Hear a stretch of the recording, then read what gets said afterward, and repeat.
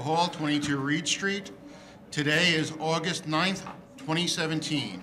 As a courtesy during the proceedings, we ask that you please turn off all cell phones and beepers. All speakers should fill out a speaker's card at the desk outside of Spector Hall.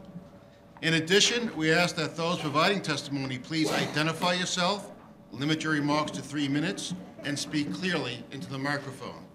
I will now call the roll. Chair Lago. Here. Vice Chairman Knuckles. Commissioner Besser. Here. Commissioner Cantor. Commissioner Cerullo. Commissioner De La Uz. Here. Commissioner Douek. Here. Commissioner Eaddy. Here. Commissioner Effron. Here. Commissioner Knight. Commissioner Levin. Commissioner Marin. Here. Commissioner Ortiz. Here. A quorum is present. The first item is the approval of the minutes of the regular meeting of Wednesday, July 26, 2017. On the minutes, all in favor? Aye. Opposed? The minutes are approved. Scheduling on calendar numbers 1 through 26, we have resolutions for adoption scheduling Wednesday, August 23rd, 2017, for a public hearing to be held in Spector Hall, 22 Reade Street at 9:30. On the resolution, all in favor? Aye. Opposed? The resolutions are adopted. The next part of the calendar is the votes on page 279. Borough of the Bronx, calendar number 27, Community District 11, N 170440BDX, in the matter of an application concerning the formation of the Morris Park Business Improvement District. For a favorable report on calendar number 27, Chair Lago, Yes. Commissioner Besser, Yes. Commissioner Cantor.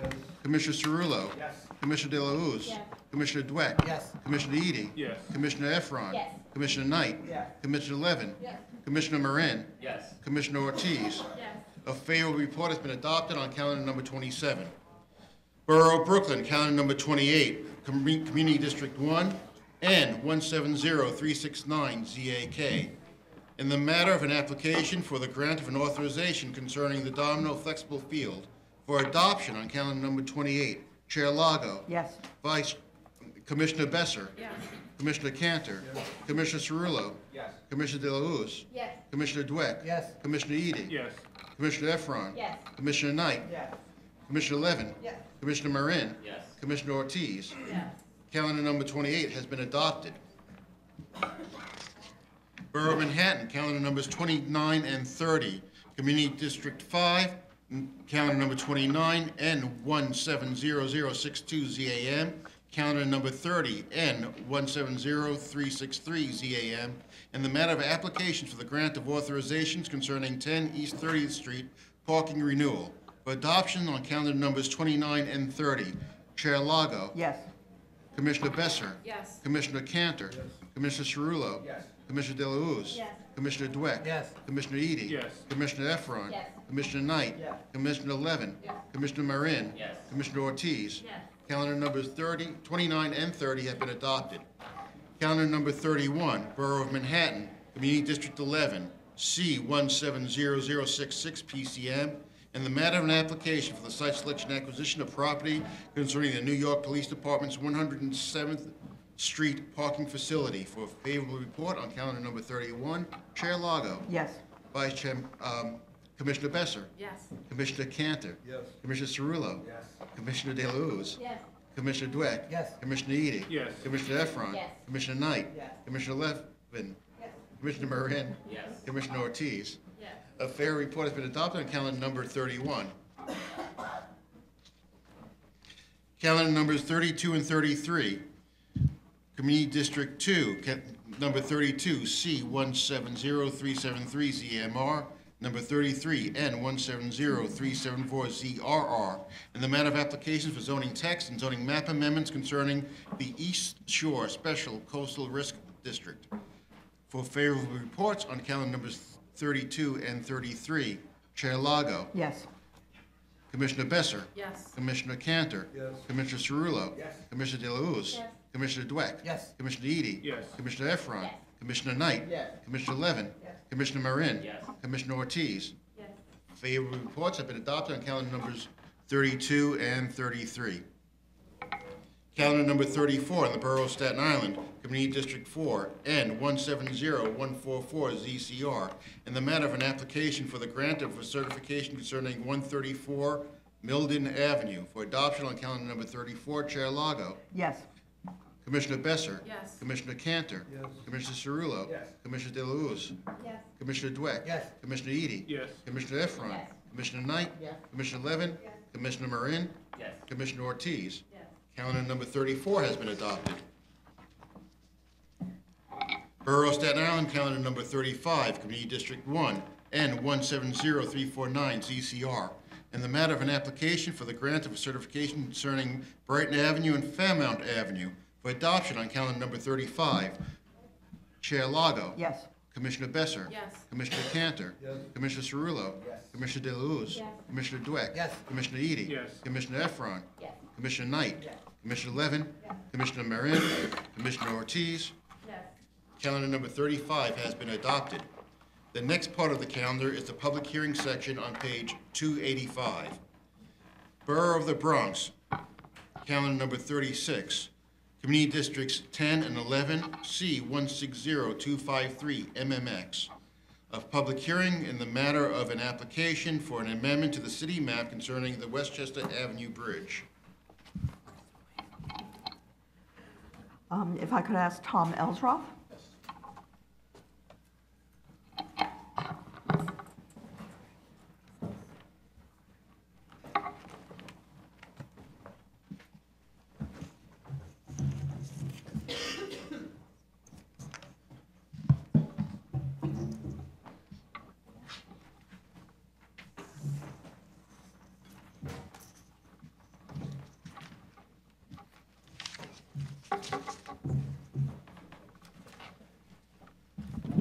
Good morning. My name is Tom Osroff.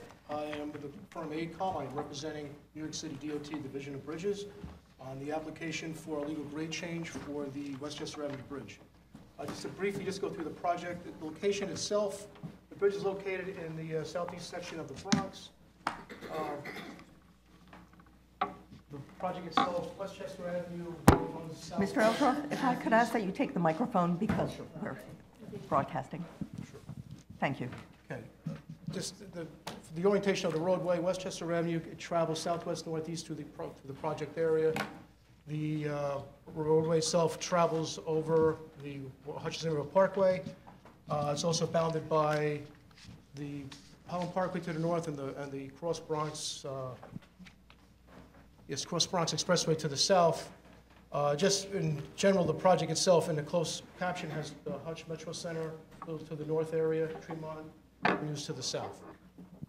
The project itself, the need for the project stems from, uh, I guess as a lot of people might have heard through the various reports, there has been a lot of truck accidents on the structure. The structure is only 12, uh, 10 feet 2 inches high from the Westchester Avenue Bridge elevation to the Hutchinson River Parkway elevation. That's probably the main, uh, the main catapult of the design itself.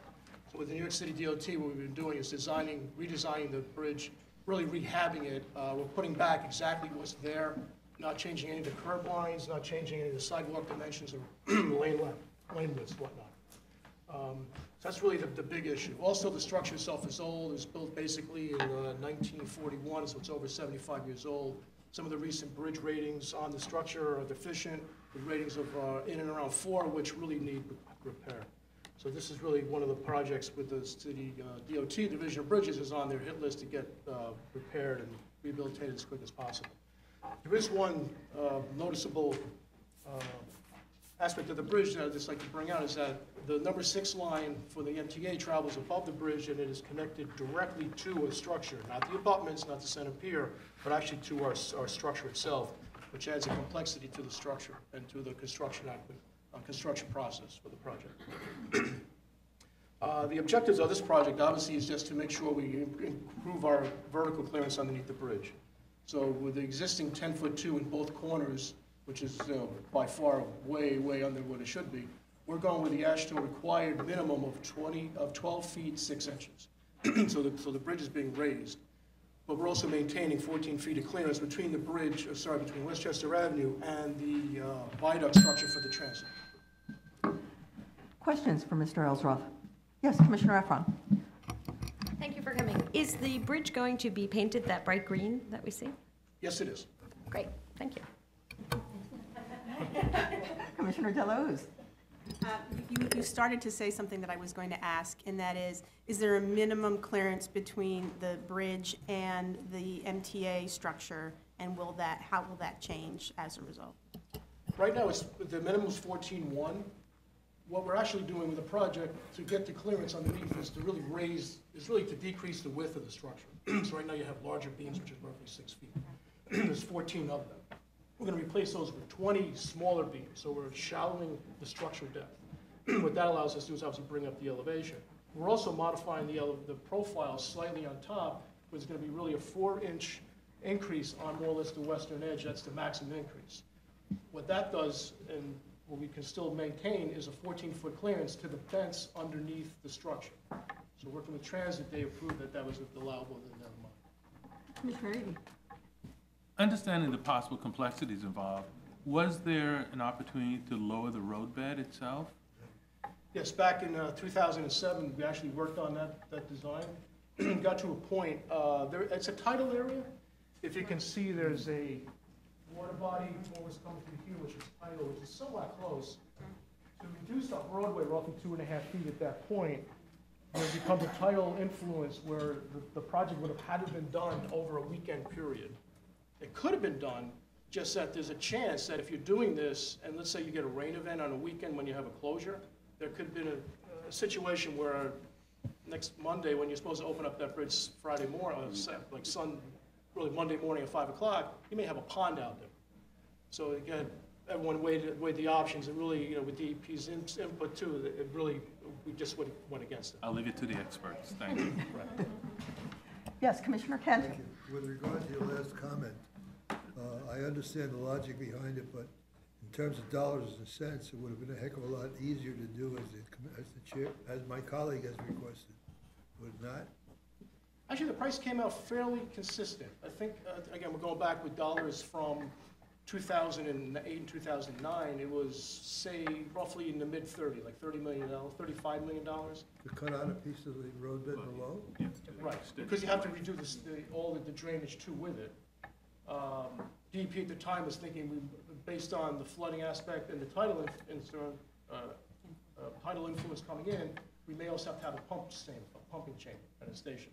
So that put the price of roughly, roughly thirty-two back in those dollars, and thirty-two million, of which now the, the project was, uh, is at forty-three. Okay, and now you're shallowing up the deck, the deck. My question is, is, it is there gonna be a perceptible vibration? Excuse me? Is, will there be perceptible vibration as they go over the bridge now that it's shallower? Actually, the way we have to design it, because the structure, the, the transit structure ties directly into, uh, the, the girders, instead of right now, there's two girders on the bridge that support the, the structural, the columns for the transit structure. We're actually stiffening that with four. Uh, but So you- actually, really, the stiffness factor, I believe, is actually stiffer than it was, but it can't be too stiff because of the motion on the bridge. It's a little bit of give and take. Yeah, but it's not gonna feel like a bouncy bridge. No, no. If anything, it's, it's gonna, it should move less Okay. because of the So stiffness. you've done, you've done analysis, I assume? Okay. Commissioner Levin. Um, the community board has some recommendations about the condition, um, after the bridge replacement, specifically about landscaping, um, I guess on the, the staging area, and about, uh, street lighting being incorporated into the bridge design, extending uh, on either end. Are those features you're able to accommodate? Yeah, this, the lighting goes back to Waters Place and also all new lighting to, uh, I guess, uh, Hudson River Parkway East on the Okay. lighting side. And the structure of the, the park area, that was stipulated by Parks in their approval. That we had to re, rehab the, whatever location that- that was being used for the laydown area and storage area, had to be put back into its original condition at the end of construction. Good, thank you. Other questions? Thank you. There are no other speakers um, who have signed up on this item, but if there is anyone in the audience who would be interested, please raise your hand. If not, the public hearing is closed. Borough of the Bronx, county numbers 37 and 38, Muni District 10, Calendar number 37, C 170413 ZMX. Calendar number 38, N 170414 ZRX. A public hearing in the matter of applications for zoning map and zoning text amendments concerning the special Harlem waterfront district expansion. We do not have any speakers signed up for these items, but if there is anyone in the audience who would be interested, please raise your hand. If not, then, looking at the commissioners, the public hearing is closed. I would ask a question, but uh, Of the empty podium. Borough of the Bronx, calendar number 39, Community District 10, N 180015PXX, a public hearing in the matter of a notice of intent to acquire office space for the Taxi and Limousine Commission. Our first speaker is Brian Switzer. And I'll also note that Dale Lazarson from DCAS is available for questions as well.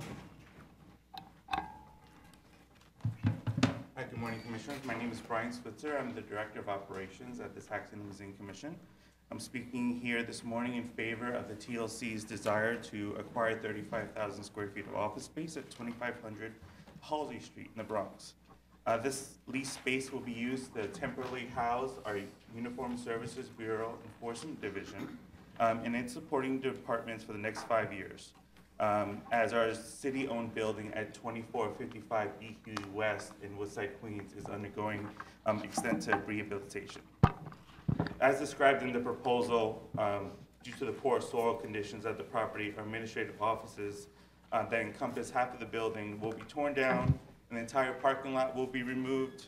The soil will be removed and compacted, refilled with proper materials, and a new building will be built in its place. Uh, Like I said, this is an extensive project, and we need to remove all of our fleet vehicles and a majority of our staff from the property to make it happen. Um, 2500 Halsey Street will serve as the central dispatch uh, point for all of TLC's enforcement personnel. Um, These are a group of individuals, inspectors, um, that ensure the high standards and conditions of our TLC um, for hire industries citywide. Uh, They are the field enforcement personnel that go out and issue summonses um, to yellow medallion taxis, borough taxis, livery cars, black cars, limousines, commuter vans, and ambulettes. Um, These officers are the ones that go out every day and make sure that the uh, vehicle that you hail on the street or call on your phone or use an app to uh, book um, are safe and inspected. So, uh, thank you very much. Um, If you have any questions, I'll be happy to answer them regarding our enforcement division. Questions from the commission? Thank you very much. I think we're setting a speed record. Um, We're saving up. That's a useful ad- admonition, Commissioner Levin. Um, Mr. Switzer, was the, um, any questions for Ms. Lasserson? Okay. Yes, of course, Commissioner Eaddy. I had to. Good morning. Good morning. Um, The building that we're moving, the 2500 Halsey Street, if I understand correctly, it's owned by the city of New York, but the, there's, the the builder of it operates the building or leased it from the city, is that correct? No, Oh, it actually. isn't, Uh, okay. But you do have a good recollection of a prior history. I think, way before my time, so don't quote me, I think at some point in time, there was some kind of a city ownership, but that was a very long time ago. The property was then, um, it was, I'm not sure who the original owner was and where it was sold, but it was sold to a developer who changed it at the time from an industrial property to uh, deliver this office building. There was a um, a corporation in the building, the entire building. Um, It's about 300,000 square feet, give or take. And they vacated. Uh, They didn't necessarily leave the New York City area. I think they moved to a larger space. So the building became vacant. Recently, the city of New York, uh, with this commission's approval, placed HRA into a portion of that building as a tenant. Uh, And um, also in the building, um, uh, there is, there is one other tenant um, in the building, and now we are taking uh, for TLC on a temporary basis, the ground floor. So I think sometime, a long time ago, there may have been some city ownership interest, potentially even an EDC participation. But currently it's privately owned? It is privately Okay, owned, yes. Okay, thank you. Yes, good memory. Other questions? Thank you, Ms. Lasserson. Thank you. We don't have any other speakers registered, but if there is anyone here who would want to be heard on this item, please raise your hand. Okay, this public hearing is closed. Borough of Brooklyn, county number 40, Community District 2, N 180016PXK, a public hearing in the matter of an intent to acquire office space for the New York City Fire Department. And from FDNY, we have Michael Hannon registered as a speaker, and again, Ms. Lasserson, available to answer questions. Good morning. Chair Lago, I'm not quite sure about the delay. I know that Michael Hannon was on his way from Brooklyn. Uh, So if you'd like, I can answer questions. I can do a little opening statement if needed um, to follow up to I- Monday's session. I'm Not sure if it's a train delay or what's happening, but apparently a number of our speakers are not here. Okay, I would ask um, our general counsel if it is possible to lay over this item at the public hearing until the speaker, until the fire department arrives? Okay, so we will just move on, and if you wouldn't mind waiting as well until That's Mr. Hannon that's- arrives. Absolutely. We'll see you momentarily. This item will return for second call. Borough of Brooklyn, county number 41, CD 8, C 150382, PQK, a public hearing in the matter of an application for the acquisition of property concerning the Albany Avenue Neighborhood Senior Center. Our speaker on this item is Claudette Macy, with Jason Ortiz of DCAS available to answer questions.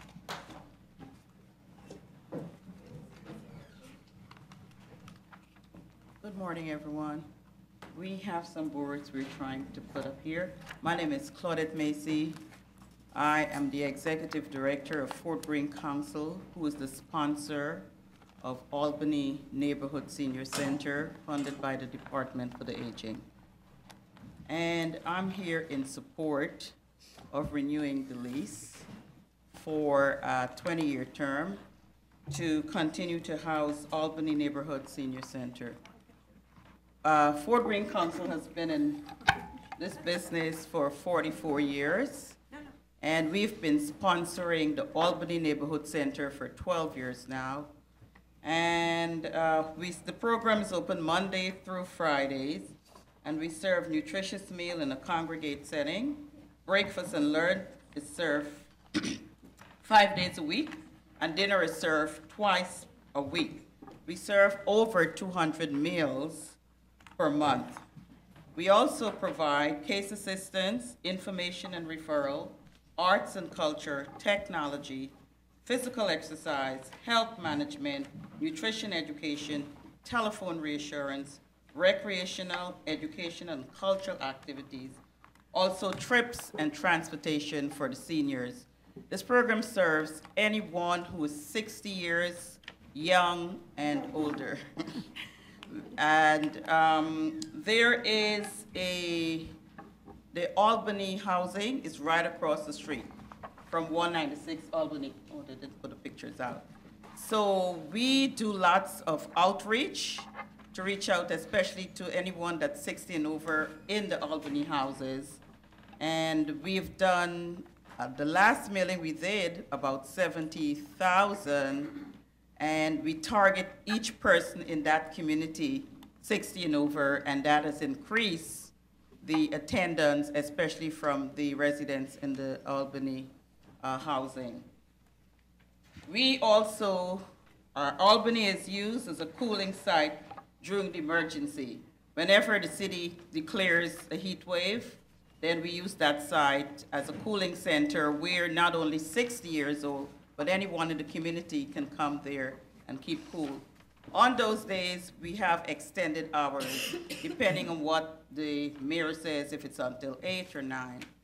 So I'm willing to take any questions. Yes, Commissioner Effron.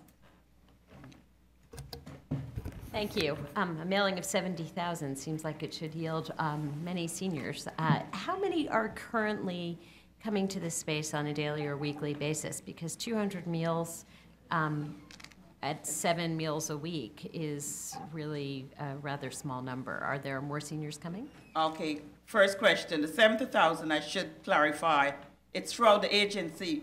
We sponsor thirteen centers I see. throughout Brooklyn, so that community did not have seventy thousand for the mailing.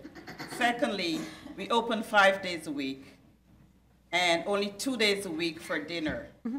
So that's why we have, in a given day, we have like hundred to one twenty-five. When there's a birthday party or a special event, we have like one fifty to celebrate. When there's a trip, we have sometimes 160, 170. Thank you for the clarification. You're welcome. Other questions? Commissioner Levin? Ms. Macy, I assume you're familiar with the scope of work that has been prepared for this new lease? Um, I spoke to Lee Boyce, who should be here from DFTA, and I don't see her, so she would have a more in-depth uh, of it. But as far as I know, some sidewalk have perhaps cracks, which we uh, testify that needs to be repaired. There were some benches newly installed in front of the building, but there's still need for improvement for making like safe pathways down where the seniors exit. So yes, the other detail, uh, DFTA Lee Boyce would have that information. Well, I guess my question for you, as the person who has to manage operations within that building, are there conditions in the building that you would like to see improved? Um, the lighting, and right now it's the lighting, the elevator was fixed, and we were told, which is the fact, once the lease is signed, that then they can move forward with whatever else needs to be. The community board raised the issue of the elevator, which you indicate has been repaired. Yeah, Uh, it's, But also flooding in the basement, is that a problem? yeah, those were history, Okay. and those were taken care of. Of course, the elevator is like overnight, anytime it can break down, but as now, it's working properly, and the flooding has ceased. Other questions? Just- Commissioner Dwight? So in general, the, the uh, landlord has been on top of res- and responsive to your uh, request for, it's been easy to work with the landlord? Have you found them to be responsive to, to any um, improvements that needed to be done? Um, You know- I personally don't deal, unlike my other sites, directly with the landlord. So DFTA, we let DFTA know what's happening and they reach out to him because I think it's a cooperation or something. But in general. And he had, yes, those two things were fixed. And and is there any, so is there, has been a time that there's been an item that you've mentioned or a problem and then it's not gotten fixed or? No, not No. to my Okay, knowledge. thank you. Other questions? Thank you very much. Thank you. We also have Jason Ortiz from DCAS available in case there are any um, questions. Good morning again. I apologize, I'm not quite sure uh, what's happening. Uh, I am a colleague of Jason Ortiz, he's with our department. May I stand in to answer any questions for the Yeah, if you would fill in the card certainly afterwards. so. Yes. Yes, thank you. Questions for Ms. Lazarson?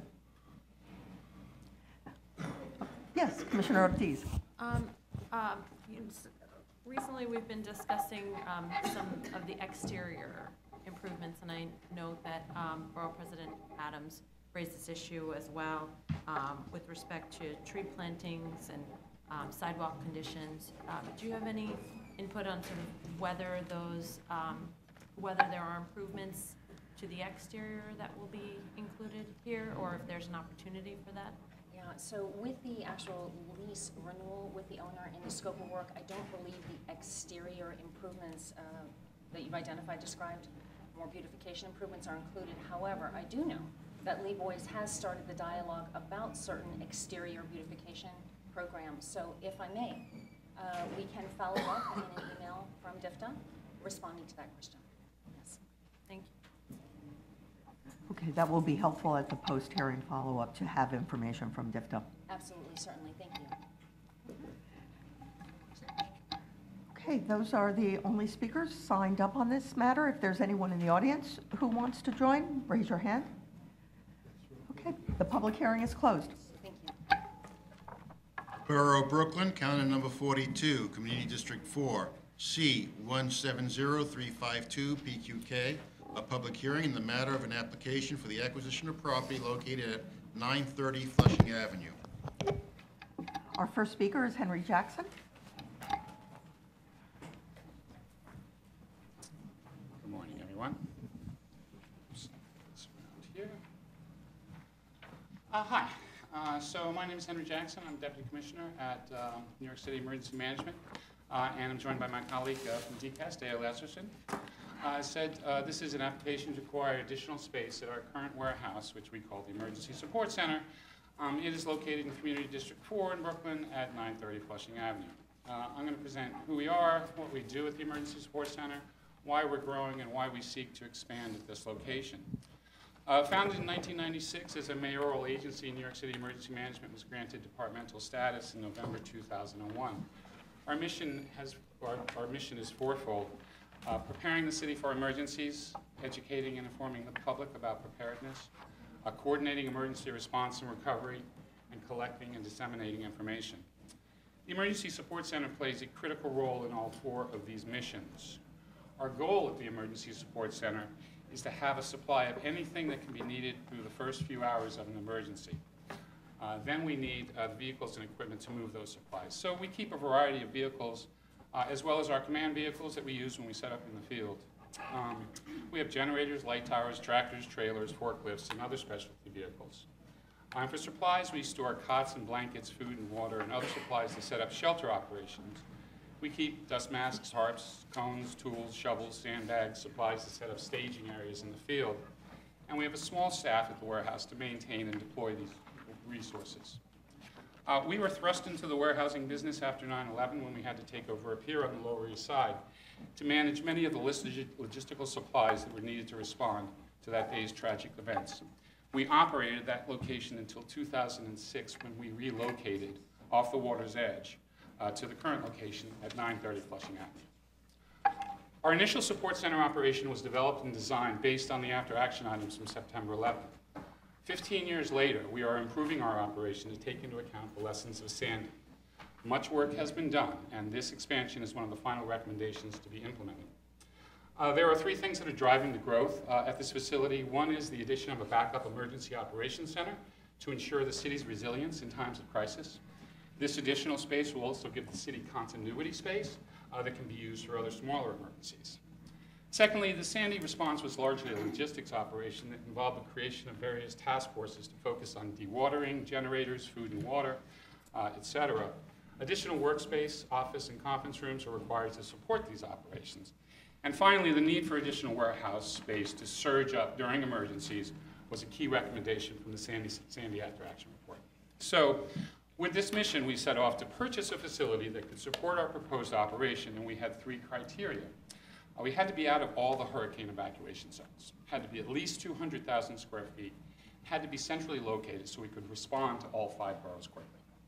Working with DCAS and the real estate broker, a search was commenced. And while many properties were considered, at the end of the day, we were not able to find anything that was suitable, that was for sale, and that met our criteria.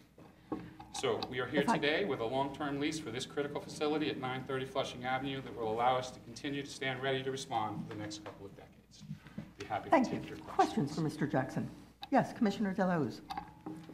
Mr. Jackson, thanks for being here. Um, There's a couple points um, that both the community board made in their recommendation and also the borough president in his. Um, I mean, you, you started to speak about the challenge of trying to find something to acquire, to buy outright versus lease. If you could maybe speak to that some more, and there's also some concern um, about the price that's, that's being paid for the lease. Sure. So uh, our original intent was to purchase a facility. Um, uh, And so again, we had this criteria, uh, working with the brokers. Um, And and if you take a map of the city of New York and you put the evacuation zones on it and you put the manufacturing zones on it, there's not much left. Um, And so uh, these guys did a block-by-block search, literally looking at building footprints, knocking on doors to see if things were available. We did our own sort of rogue searches. Um, We scoured the city for spaces uh, that would be available. Um, But we, but that requirement to be out of a hurricane evacuation zone is, is very important. I mean, we we have to be operating during a hurricane. um, And, uh, and, uh, and we can't be the person that explains why we're there uh, with, with all our supplies underwater. So Um, So it was our intent, we could not find anything that was available to buy. And um, so this is where we are. If- If I might, I mean, and and perhaps this is um, for Ms. Lazarson after you. Um, I'm just wondering if there was any discussion whatsoever of a lease with an option to purchase with the Uh, owner.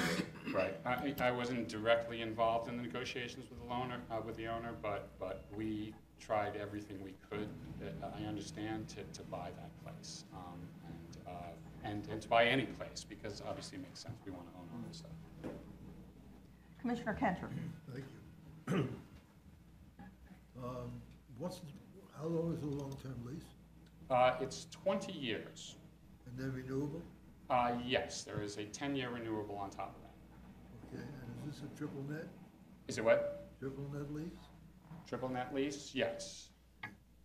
So anything and everything you guys want to do, you do on your own? Yes. Thank you. Commissioner DeWitt? Um, Thank you. Going to the Borough President and the Community Board's recommendations, uh, there's a couple of recommendations uh, I'll point out to you. The rest, I guess I'll ask Dale about. Um, One of them is that the NYPD has a parking facility a few blocks away, and they're, uh, it would free up NYCHA space for development of affordable housing. With, with the relocation of that parking facility, considering the fact that your center is primarily in use in- during an emergency, which we uh, hope to have minimal, uh, of, would that impede your ability to, to, um, to carry out your, uh, your, your command? Uh, Well, uh, we're going to take a look at it. We reached out to them, we're going to go do a site visit. Um, We'd have to see how much space there is, because the the warehouse does operate on a day-to-day basis. There are people there receiving supplies, we're moving things i- in and out all the time, and and we're also hosting the urban search and rescue team there, so, and they're in there on a weekly basis. So we- we'd have to work it out, but we did say we would uh, have a conversation with PSA, and we're setting that up. We've already had one conversation. And, and the next question and the recommendation of the Borough President uh, that I'm going to address with you would be the uh, recommendation for a green roof, blue-green roof, solar panel, or urban agriculture.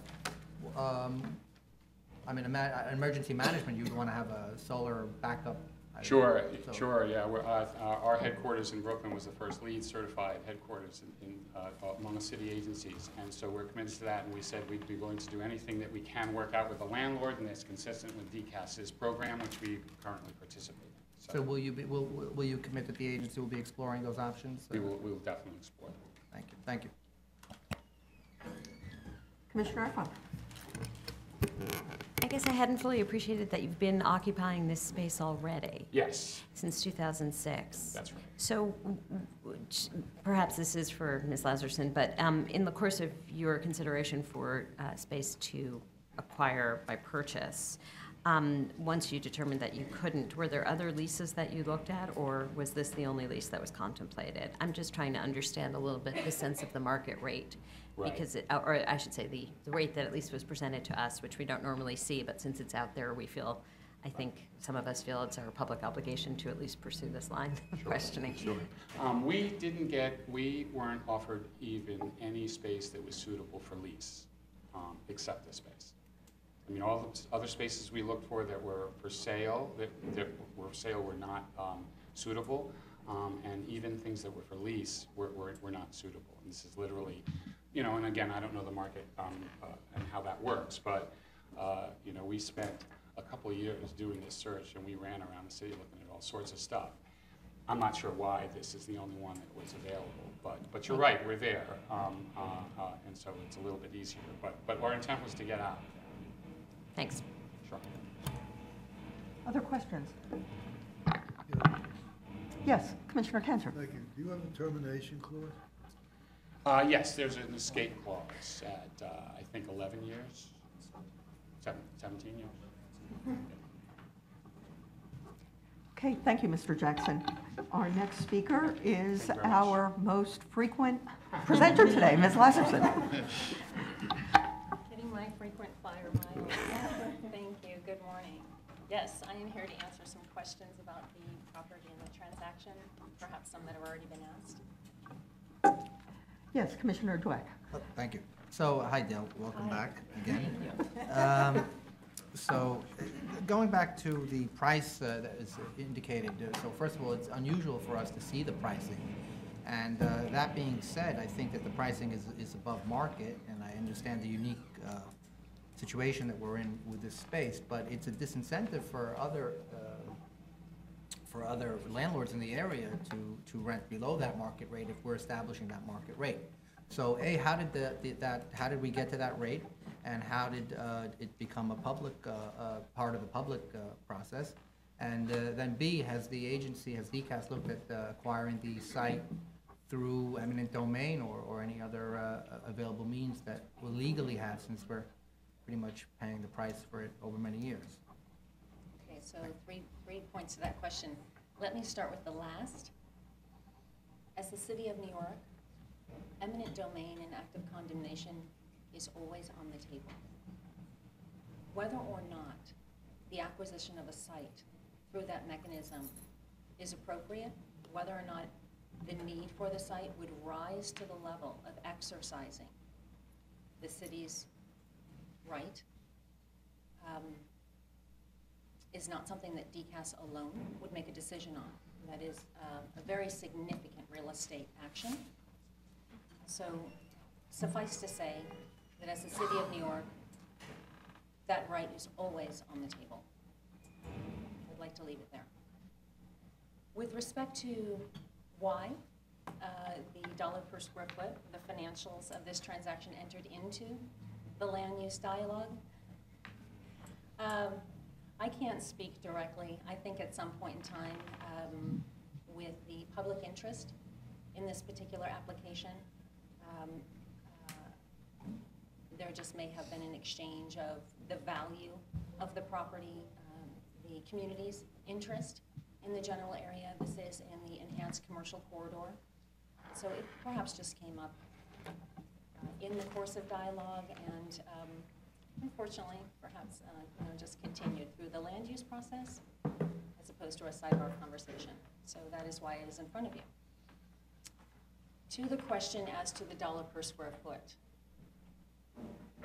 Yes, uh, in the mid-thirties right now, manufacturing and warehouse space, I would say it is on the higher side. Having said that, um, there are deals that are trading that are just shy of that, and then there are others that are much less than that. But all of them are somewhere in the upper teens and low twenties at this juncture that we're finding. The transaction that we have negotiated, however, double-edged sword, perhaps it's unfortunate, fortunate. Bushwick is uh, no longer an emerging market. Rents have escalated tremendously in a very short period of time. When this site was originally um, considered for the expansion, I don't think that the rents were as high. But as our processes of thorough due diligence to look at all sites continued, uh, so did the increasing market of Bushwick. So we find ourselves in the mid-30s. I don't want to hark back on a prior dialogue with this commission, but depending upon who's measuring the space, we really are hovering around the $30 range. Yeah, so again, it is on the higher side. Now, having said that, um, unfortunate to be having to lease a property at the peak of the market. And then the alternative is that is a very quiet market that we all recognized in 2008, and I don't think we want to go back there. So, with respect to the impact of leasing at this rate and other properties in the market, the landlord is achieving through the city of New York a starting annual rate of $11 million for our take of the whole property. That is probably what owners are going to be looking in the area to comp against. And depending upon the market review of this asset and how it is measured, it's very likely that the $36 that you are presented with is not going to show up. It's very likely that it will be in the lower 30s, potentially high 20s. There is a REBNY standard of measurement for the industrial space, and I suspect that other owners in the area will be using that standard. So more than likely, again, it will be an annual aggregate that they are looking at, and then each owner will look at the square footage as the owner of this property presents it. Um, Beyond that, this particular project is not an economic development project. This is the acquisition of space for a very critical need, as described by Henry Jackson, for the New York City Emergency Management Agency and its services citywide. Thank you. Commissioner Cantor? Thank you. I don't know exactly how to put the question. The first two items, uh, I found that your response was not as clear as it has been in the past. And I'm wondering who's putting the powder on the window. Uh, I understand that you're not, you're reluctant to speak to those issues, but can you give us more as to why you are reluctant to speak to those issues? Certainly, uh, and thank you for being gracious. I'm not reluctant to speak about a matter of eminent domain and condemnation. Because it is what it is. That action for the city of New York is never off the table. It is a city right. However, it is not DCAS's place to determine if that act is appropriate, not DCAS's sole position. That would be a collective decision by many stakeholders. Um, and I think, uh, I come from the perspective, if you always have a right, there is no need to keep stating it, particularly in the public forum. We have a tremendous amount of very successful relationships with the private sector. This is a private lease. Do we have experience with this landlord, We have some experience with this landlord, yes. which has been, I assume, satisfactory? Uh, he's a tough guy. The partnership is a tough guy. Uh, I would say that um, the opportunity to have the space that we need for the New York City Emergency Management Agency, um, yes, we have the space. So he's, from that perspective, it's good. From a business guy, he stands his ground, and, and sometimes as negotiations go, it can be difficult. Uh, but overall, uh, as you asked, this is primarily a triple net lease. The ownership does have some responsibility for structure, for exterior, et cetera um, as, as any industrial lease might expect. So we do have involvement with him. The conversation is polite, it's professional. I wouldn't necessarily say that we're having lunch with this. But they have, they have something we want, and uh, we have something that they want, so we're hoping to uh, continue to meet at the table when needed with professional dialogue. It just seems to me, particularly in the environment in which we live today, that um, openness is something that's looked for or looked at. And we're talking about a sole source for two hundred thousand square foot area. It's a big building. Uh, Is this something that if you continue, when I say you, I don't mean you, if the city continues on this path, are we gonna be in a fake news conversation? I certainly hope not. Okay. I've never before heard the lunch with this guy standard. Commissioner De La Uz. I'm, de- I'm, I'm just struck by, one, the length of time that you all searched for an appropriate space. Um, the fact that in the time period that that happened, that the market shifted dramatically in the neighborhood. And, you know, I personally wonder to what extent the city's announcement of the Bushwick rezoning contributed uh, to that potential, to that shift. But the question I really have has to do with whether or not other agencies have come to DCAS with similar parameters in terms of need. Um, You know, such a large space, long-term need out of a flood zone. Perhaps that's very unique to this agency, given the particular use. Um, And whether or not uh, we need to think more long-term about these kinds of needs um, and, and plan for them, given the amount of time that the agency put into trying to find an appropriate space. And the fact that um, we've had a pretty significant decrease in manufacturing square footage overall in the city. So I, I don't know if it's fair to ask you that question, but I, to me, it raises that question. Sure, I can respond to that in part, yes. Uh, You're absolutely correct, that citywide, we have seen a diminishing supply of industrial space. One caveat, the New York City Office of Emergency Management, this requirement was not about a flood zone. It was about an evacuation zone. So there Okay. is a difference. Um, which goes to answering another question. Yes, We have had other agencies with requirements that have narrow parameters for the protection of their operations. Other operations that have been in front of you in Southwest Sunset Park, 4312 Second Avenue, home to the New York. Police Department, Right. property clerk storage, and central records. Right. That relocation effort was significant coming out of very damaged facilities after Sandy, over on Kingsland, et cetera. We also have the New York City Police Department, again, with the property clerk, um, with a very significant transaction underway in, in, uh, in good dialogue, friendly dialogue in Queens for a centralized, consolidated operation, which matter should be in front of you if we're lucky this year. Um, So the answer is yes, we do have other agencies that do have critical needs with very um, restrictive parameters for the site search. Yes, uh, NYCEM is not the only one. If I may?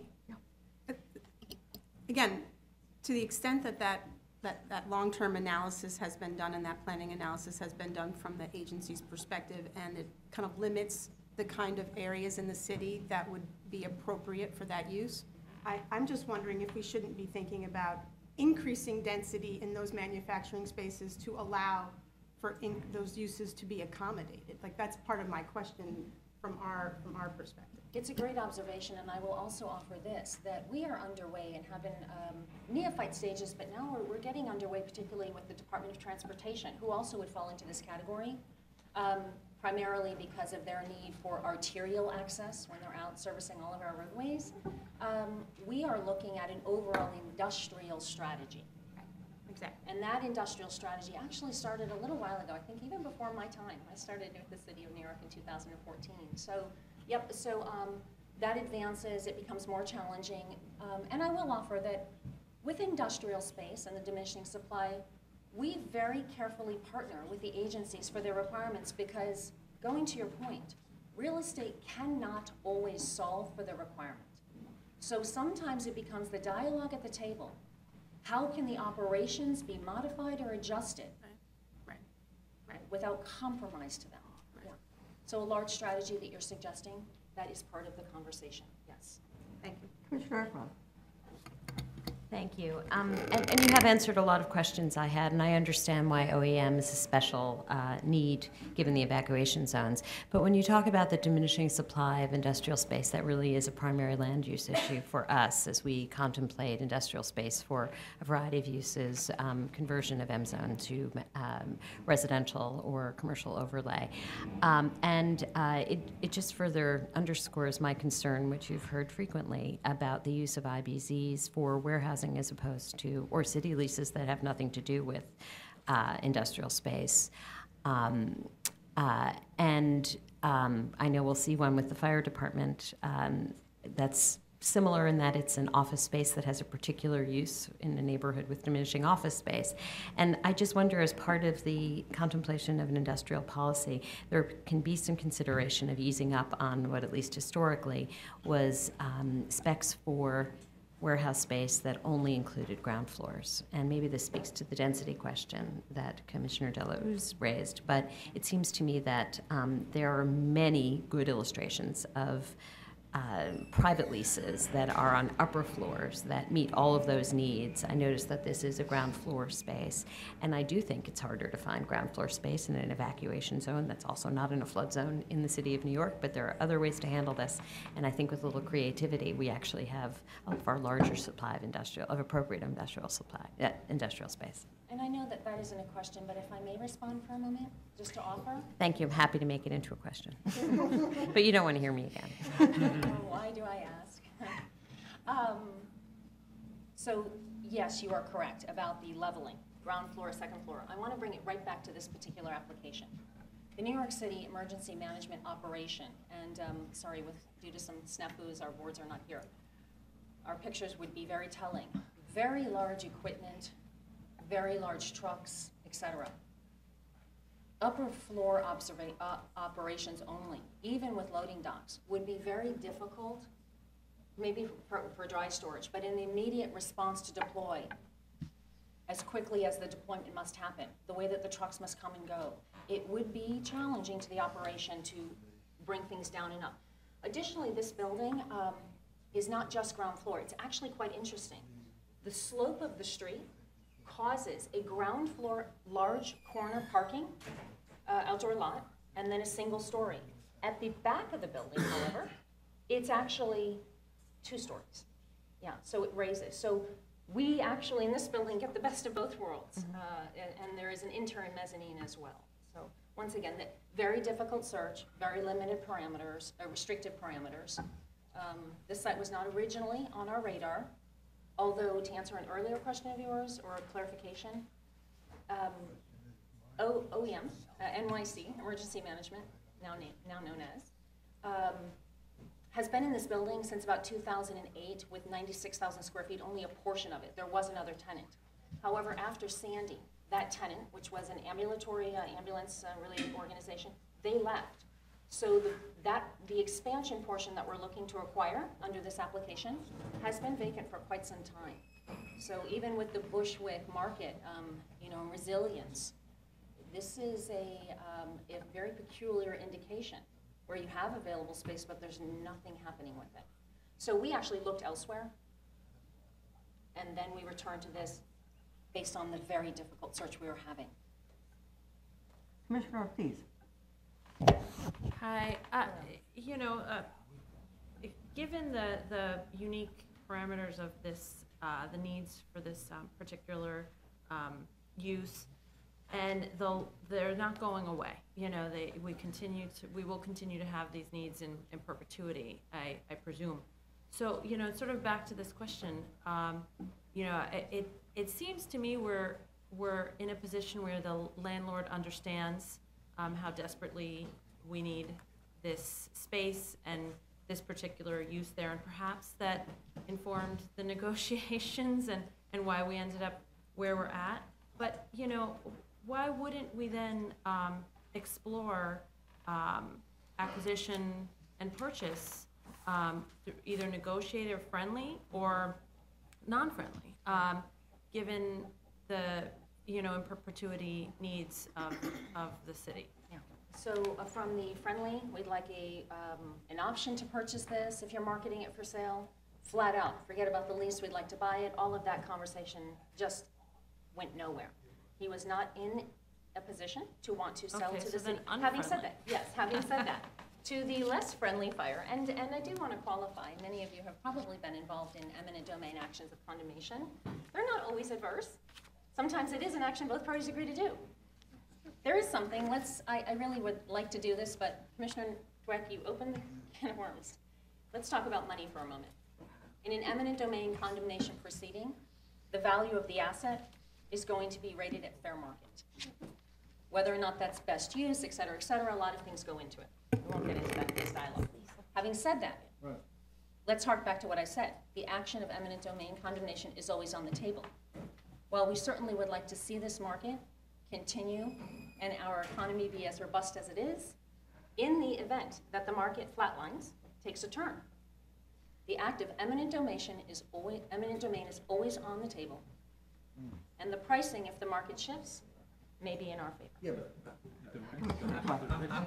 I'm gonna, I'm gonna respond to that. Yeah, I- We've, we've set the market price now, Well, we so- set the value. We set the valuation based on the, uh, on the eleven million dollar number on the cash flow, so, uh, I think that we've done ourselves a disservice if we're gonna look at eminent domain in the future, because we've already created a valuation, which I don't wanna state on the record what I think it would be based on eleven million dollars, but, um, there is a, a higher valuation than it would have warranted had it just been for the straight industrial manufacturing use that it was, that it's zoned for currently, so. So there's another dialogue following this that perhaps uh, one day, without a conflict of interest, uh, we can get together and chat about the strategy on how that works and the definition of fair market value, having no floor and no ceiling.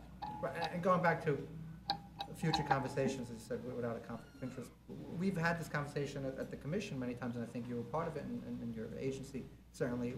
I think overall, we need to assess the needs of the city and see how we can stop being renters and start being buyers. It's, you know, we're grown up enough, it's it's time for us to, to buy our own home. And, uh, all these agencies uh, are, are we're growing and the city's growing and, and, and for the most part, I think uh, the rental, I look at the, the option for the city to rent space only as a, a TLC has a temporary issue, they need to rent space, that's something that's gonna come up once in a while, but we always need to plan, we're a planning commission, plan for the future, and, and emergency management will always be in business. I mean, we hope to have no emergencies, but they're there just for that. It's like life insurance, we don't wanna use it, but it's there just in case. And uh, for, for the capital planning of the city, which this, this agency, as a commission and the agency have been involved in recently, we need to start looking at the needs, the long-term needs of the city's real estate instead of renting and putting our money towards purchasing and uh, getting a better deal for all New Yorkers. Yes, I don't think anyone disagrees. I do think that a healthy portfolio for any corporation, including the city of New York as a corporation, if you will, is a balance of mixed, of leased and owned.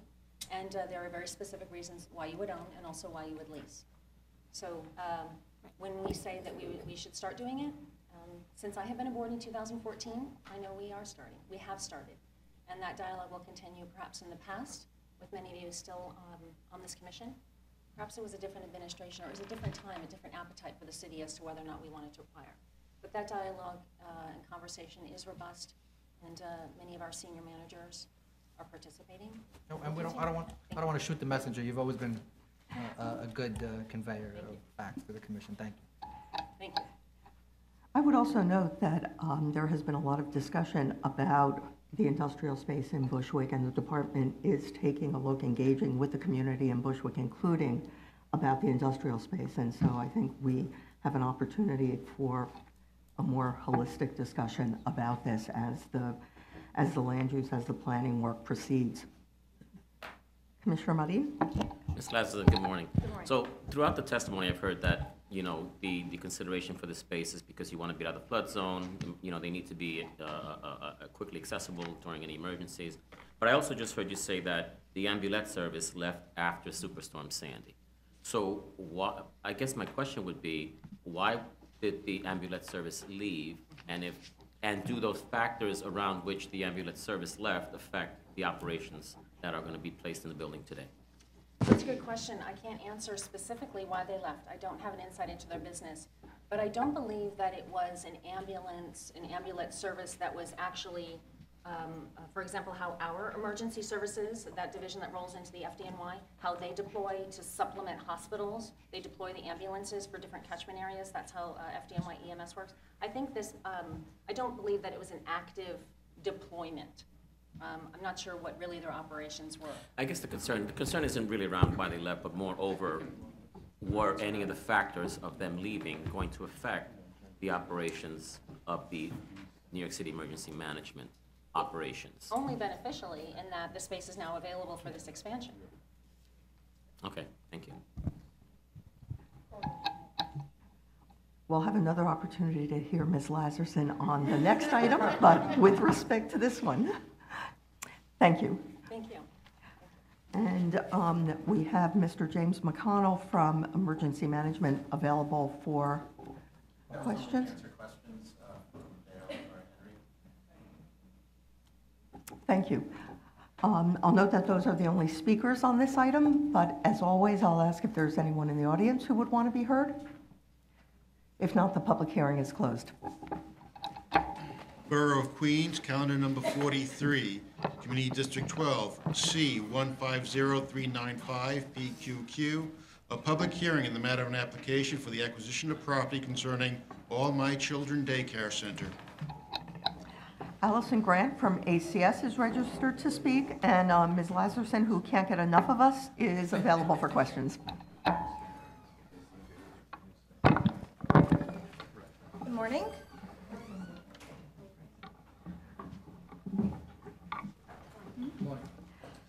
I'll start. My is Allison Grant. I'm the Chief of Staff for Early Care and Education at the Administration for Children's Services. Um, Madam Chair, this is our first time meeting, so I thought I would just give a very brief 30-second overview of our work to couch you. I know you received a presentation from Deputy Commissioner Gibson last month about the work of ACS in early childhood, but I just wanted to give a quick programmatic update. So our division, um, we're the largest subsidized childcare system in the country. We serve over 100,000 children from ages 0 to 13 annually, and of those, about 40,000 are served via Early Learn, which is our contracted program.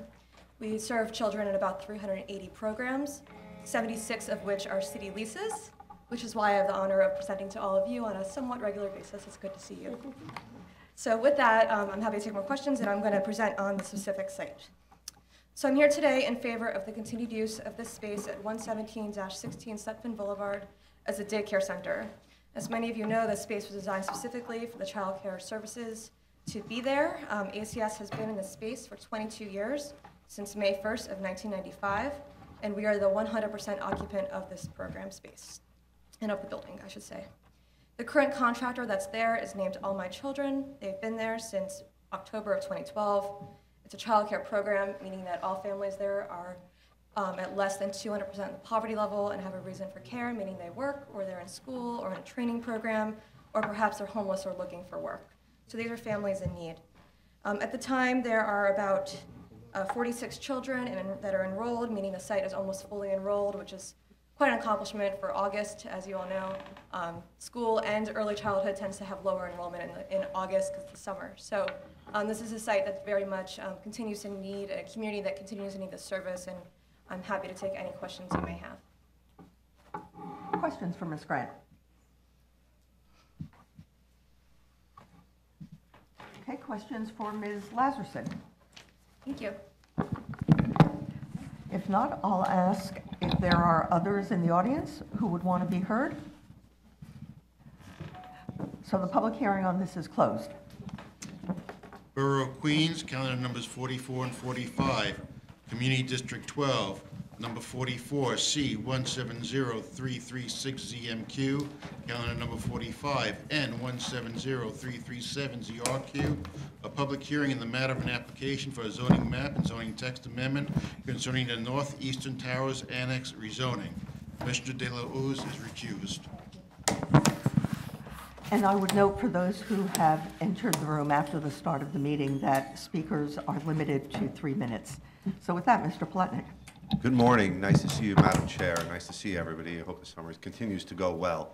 Uh, We're here today for a very uh, enthusiastic and positive application. I think that checks all the boxes that everybody's been looking to check these days in trying to provide affordable senior housing uh, for the aging population. As I'm about to turn 50, I'm coming up on this.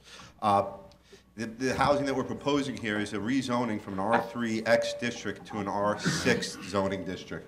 It's on Guy Brewer Boulevard in, uh, in southeastern Queens in Community District 12.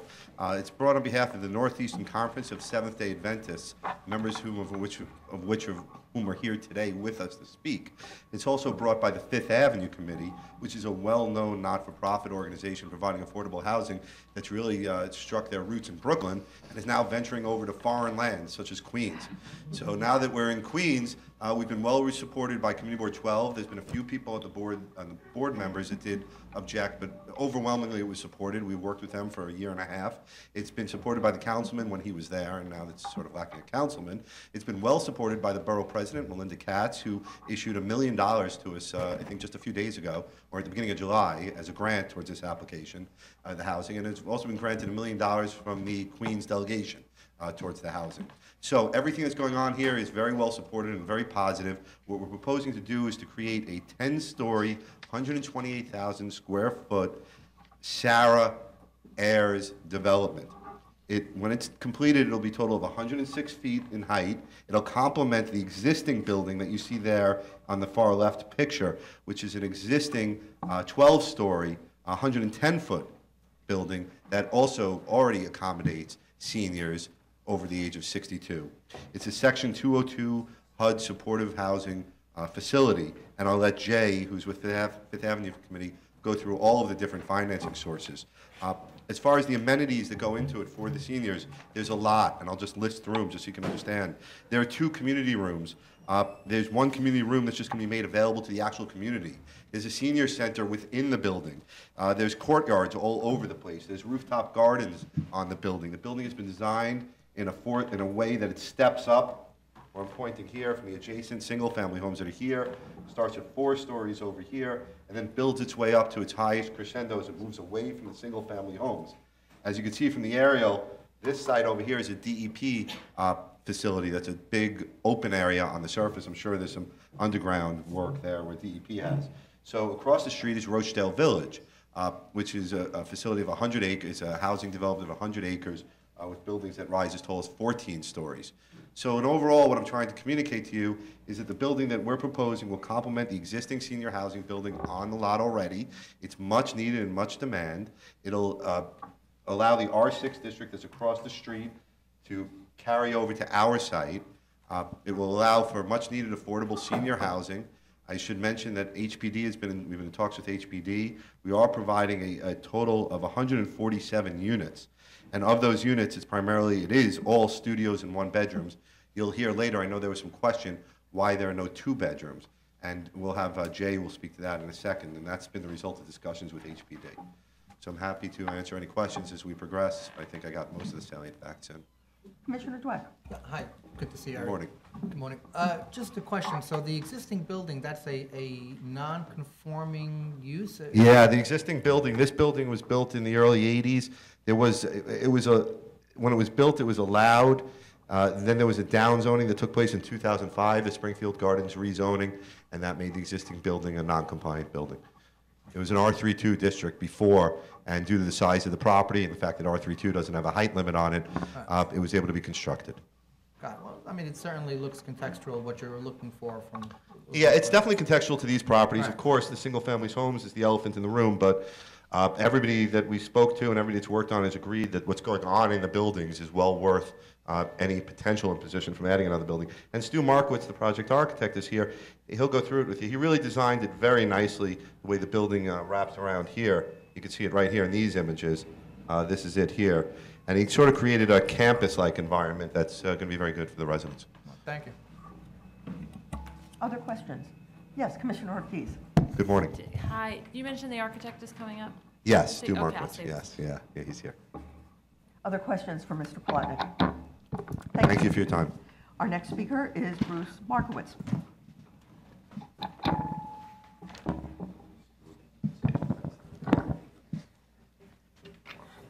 Good morning, everybody. So, um, if it's okay, I'll, since uh, Eric gave a a broad outline of the, of the approach to the design, I just want to give you a couple of facts and figures about the existing project and, and- and, the proposed project that's presented today.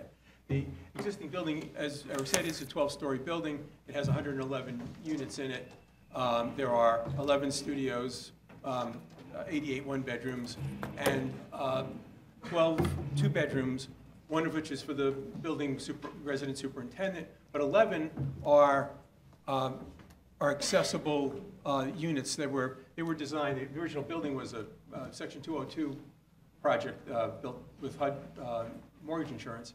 And, um, and, and it- back in the early 80s, before cost containment guidelines came into effect, they were allowed to have two-bedroom apartments. And the, uh, and the, and the Northeastern Conference thought it was a good idea, and, and they still like the idea of having uh, two-bedroom accessible units so that uh, uh, if you have a caregiver that needs to stay, or even a couple that does need separate bedrooms, that they would be provided. Our original design for the building, uh, and I know there was a question that came up on this, so I'd like to address it, um, had 130 units, um, 17 of which were similar accessible two-bedroom units. Um, HPD's, um, uh, because due to the programmatic requirements of of the SARA program, um, is um, objected to the two bedrooms as not fitting in their program while we're still in conversations with them. Um, We have retained the, the overall volume and bulk of, uh, that allowed us to include those two bedrooms, and, and so therefore we changed the two-bedroom units to two, one bed, two studio units, uh, and, and kept the volume. That's, that's where the, the change in numbers that you may have seen in, in the, uh, in the documents came, came from, uh, while we're, while we're still uh, discussing the issue with HPD. Um, uh, As, um, as Eric mentioned, the, uh, the design of the building is, is, is set the, um, uh, set the building along the southern edge of the property, facing the open uh, DEP property. We've, uh, as part of the design, we've also relocated the vehicular access to the intersection of 161st and 131st um, to make that intersection safer. And um, I will take uh, any questions that you might have. Questions from commissioners? Yes, Commissioner Ortiz. Hi, clarification, you are the architect? Yes. Okay. Um, Sorry. Um, So I noticed you have some first-floor units.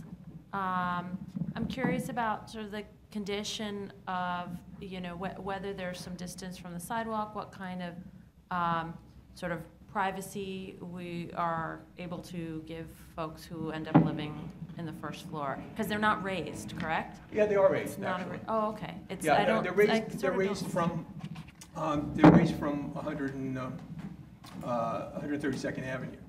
Uh, the- the- I'll, I'll use my finger to draw. The, If you could uh, bring the microphone over with you, sir? Oh, sure, thank you. The first floor on Guy Boulevard, the busier street, that's, uh, that's proposed for the senior center. Mhm. Um, uh, And. And those are uh, at grade? I'm sorry? And those windows are at grade? Tho- Those are, those are close, those are close to grade. Um, The, the site slopes to the south, and, and the first floor is approximately three feet uh, over the, over the 132nd Street, you know, elevation at the mid, at mid-block. And the, and the apartments are located in the western side of the, uh, of the first floor. Um, And, and there are, there are a few on, on, on that floor. Um, The, the, the rest of, the rest of the first floor is common area and, um, and management space.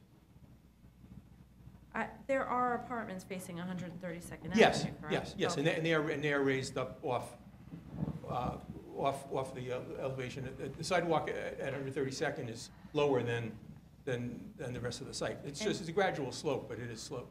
Are you intending to put some sort of landscaping or Yes, some sort of barrier? Yes, there, there there will be. What is the, what is the barrier? What will the condition at the street for not just the Well, folks who are well, living said, we- inside, we- but also we've- the we've- pedestrians? We've, we've um, set back the building 20 feet, and, and we will be landscaping that, that front yard. I saw in one of the renderings, there's a very high fence. um, And I understand it's for illustrative purposes only, but I, I was confused as to, Let me, well, there- is a, um, there is a, a- a metal, there is a metal fence now around the, around the site. Um, And we've, but we've- the, in the, in the illustration of the new construction, uh, this fence. I, I can't see. Oh, I'm sorry.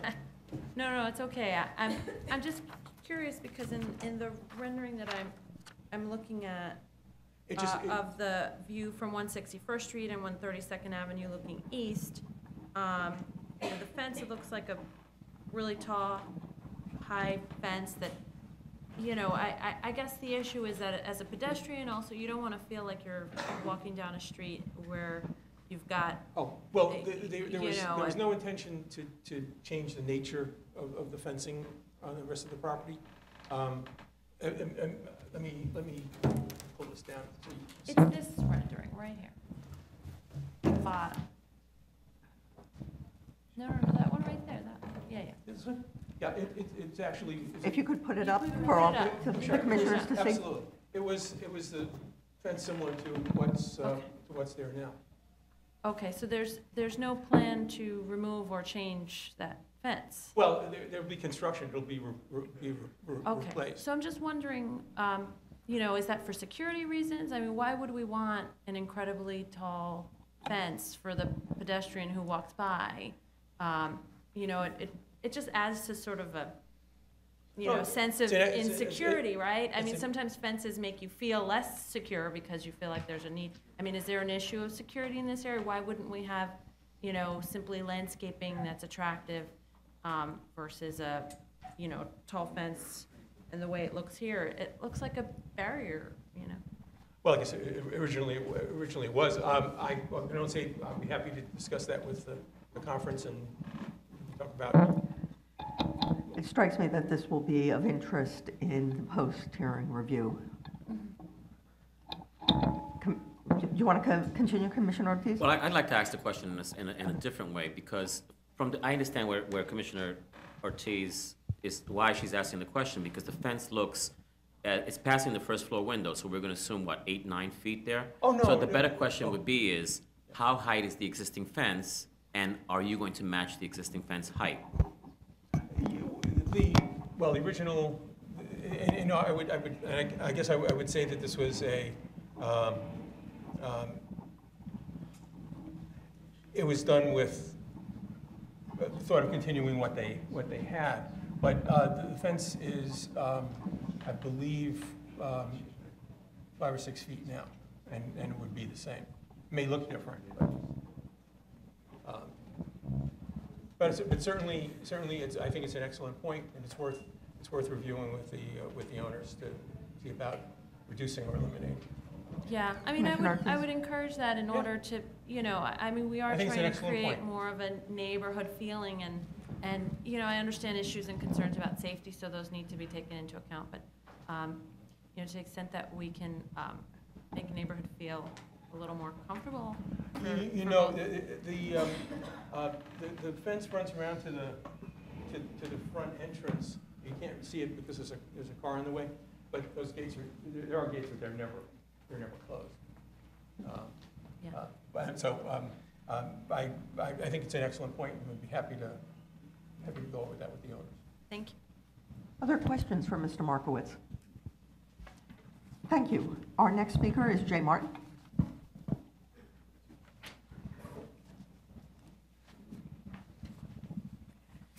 Hi, good morning. Um, So uh, we're very happy to be part of the development team. Fifth Avenue Committee is a 39-year-old nonprofit community development corporation that in addition to doing affordable housing, also does job training, adult literacy education, and community advocacy. Um, And we're very excited now to be partnering with NEC in our first venture, as Eric mentioned, in Queens, uh, because the need is so severe in Queens, and it's severe, uh, particularly for seniors. So we're pleased about NEC looking to expand their existing 202 to include these additional 147 units. Um, The 147 units will 109 one-bedrooms and 37 studios. We do slant more towards the one-bedroom for the issue that Eric mentioned before. We really want this to be about allowing people to age in place.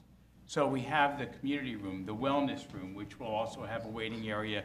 It's meant for the medical staff um, to be able to, so that medical services can be brought in. We have an exercise room, we have a library room, we have a computer room, we have a community room, and then separately, uh, working in conjunction with the three senior centers that are within half a mile, we have 3,900 square feet that we're going to be planning generally for senior, for senior services, that the senior centers work with us on identifying that they're not able to provide there, that we'll provide here. So we really want to make sure this is helping people in the community and here age in place. Uh, Similar to the, to the rest of the city, the senior population here is growing. It's the fastest growing demographic in Community Board 12. And the poverty rate is the highest among single seniors in Community Board 12 of any demographic group. It's 33% um, is the poverty rate. And 74% of the single seniors in this community district um, also pay- are below 50% of median, which is our target here for the population. Um, We applaud also, we're very happy to have the city here today, and and they were been a great partner with us in, in working out how best to do senior housing. And the SARA program is a very new, exciting program where uh, we're pleased to be a part of, uh, one of their uh, earlier projects. Um, So um, I do want to address the, the two issues that were raised. Um, Interestingly, on the, you know, previously, this is across from a, um, from a DEP site, and this was been more parking before. So you're right, we hadn't thought enough about the streetscape, and now that we're gonna have residential units on there, how we should uh, look at the streetscape. Interestingly, Councilmember Richards, we've been meeting with council members about this, um, and he raised the same point. So we will be looking at what a good appropriate design is now that we'll be having residential on this side of, this side of the street there. Um, And I do want to address the two-bed, I'll be very quick. I, I think you'll get a question. Yes, Commissioner Levin. Thank you. Jay, welcome back. Um, nice to see you. And since this was a question that I asked on Monday, I'll take the opportunity to ask you to talk a bit about um, having had to drop the two-bedroom units. Um, seems like there is a need in the community for units of that size. Uh,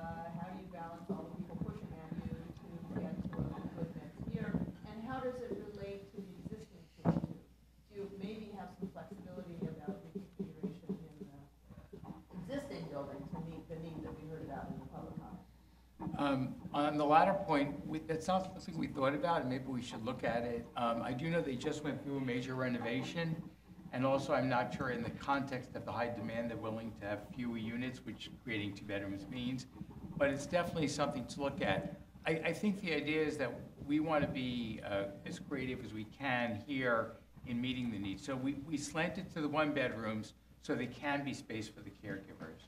I think we want to be speaking about how we design the one-bedrooms um, to try to make sure that they can be a, sometimes you have a separate dining area, but maybe there's a way to create instead that that's kind of a nook for the caregiver uh, to have some privacy. And again, for 24-hour caregivers, which they do now finding they're having in some of the 202 units, we want to make sure we accommodate here.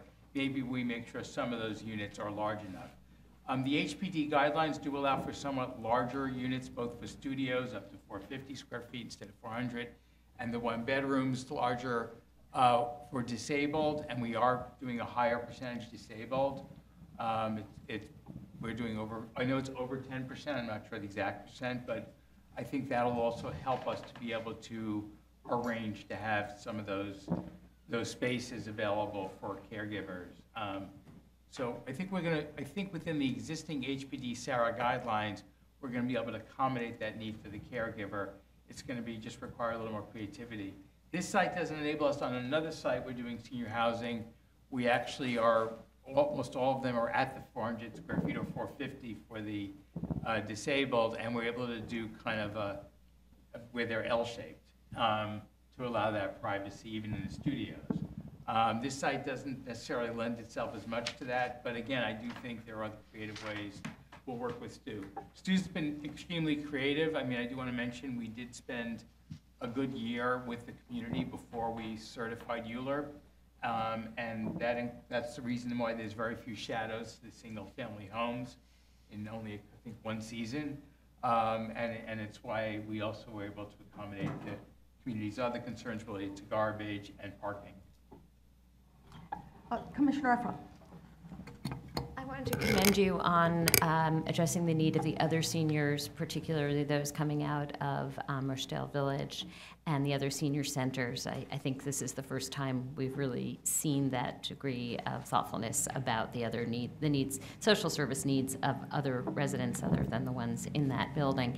Um, I did have a question about the length of affordability under SARA. How long um, term are these apartments? Um, Well, I- Fifth Avenue Committee, as part of its mission, and this very much matches NEC, is dedicated to permanent affordability. So we are, we are going to seek to have that in the regulatory agreement. Um, And I don't know what AIRS uh, requires in terms of that, and I also don't know what SARA, uh, I don't recall if SARA is 30 or 60 years, Jen? 30, 30, but again, we will, what, you know, we had this with the library project we heard too. We are dedicated to permanent affordability. As many of the units that we can to get in a regulatory agreement, we're very happy to have that happen. Um, But otherwise, we'll, we'll provide other written documentation for the permanent affordability. It, it's been a part of Fifth Avenue Committee's mission, and it's been something that we've insisted on all of our projects, I think, um, back, back at least 10 years or so. Thank you. Other questions? Thank you. Our next speaker is Gail Thomas.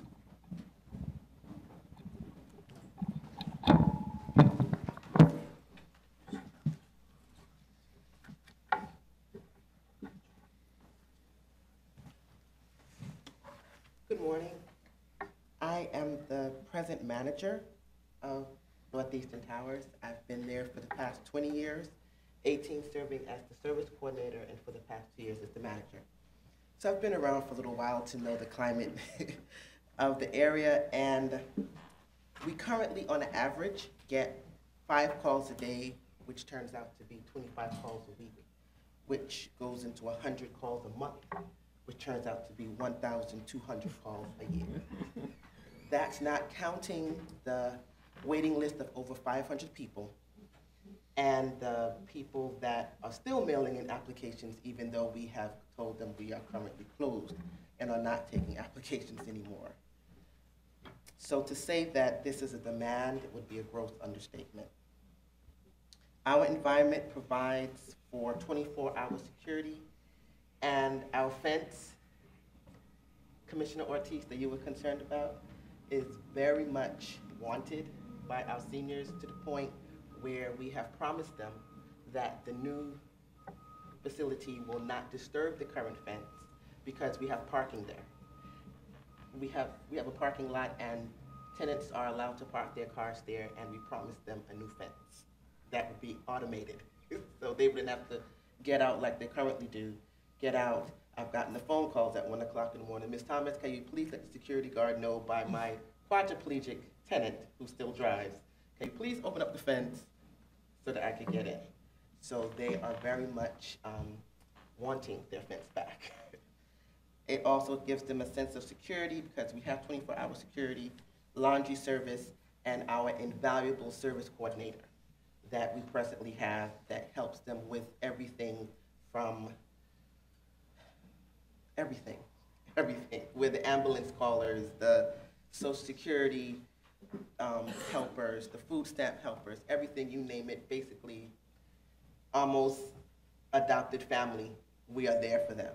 And that's what they greatly look forward to and greatly need and appreciate. I know that there was, I've heard that there was concerns about a two, about our two-bedroom apartments. We currently have three families that have handicapped children whose parents are taking care of them.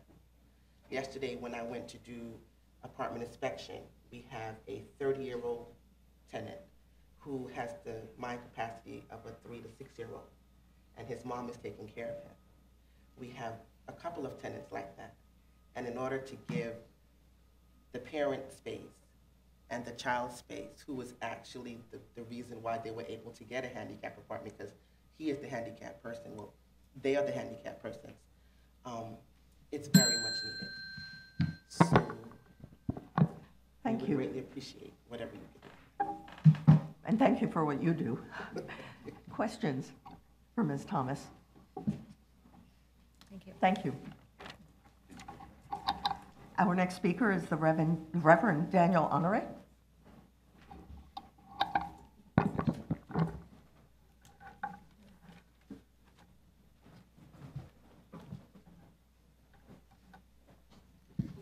Good morning. My name is Daniel Honor. I'm the president of the Northeastern Conference of Seventh-day Adventists.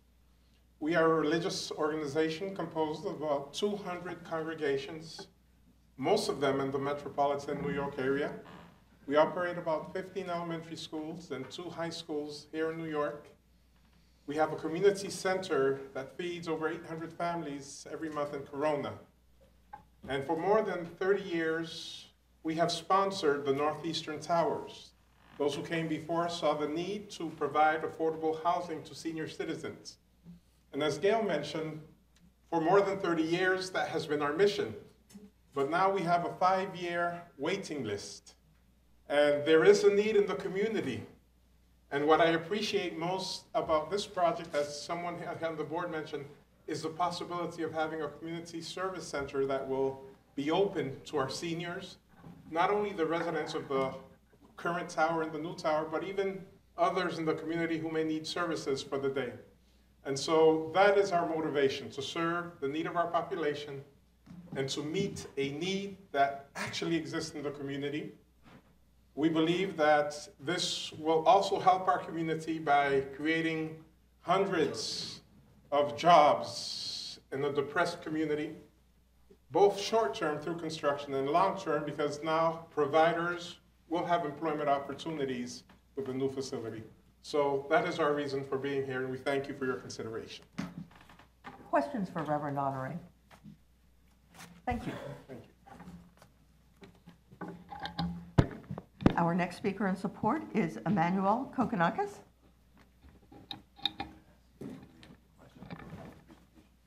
Hi, I'm Manuel Kokonakis with Mega Contracting. We're part of the development team and the contractor for this project. Uh, Quickly about our company, we've been around for over 25 years with a specialty and expertise in affordable housing, and happy to answer any construction-related questions. Questions? Thank you. And we now have available for any questions Christina McCallion from Philip Habib Associates. Thank you. And our final person available for questions is Jenna Breams from HPD. Yes, Commissioner Levin. Um, Jen, I don't have specific questions for um, this project, but since you've taken the time to come today, I wonder if you could give us a little overview about um, senior projects um, after the zoning for quality and affordability, the creation of new flexibility for AIRS projects and the SARA programming, and um, are we seeing these kinds of projects emerge around the city? Is it working the way the city hoped it might be? Uh, yes, I think that um, the creation of the SARA program, which was then followed by the ZQA changes and the new definition of senior housing in the zoning resolution as AIRS housing, which includes a zoning bonus and some other um, zoning benefits, has definitely um, been um, resulted in a program that is extremely popular. We get numerous um, uh, new proposals. Uh, we have been exceeding our um, uh, our goal of doing 500 units per year every year. I think last year we did, uh, I think it was 650, 675.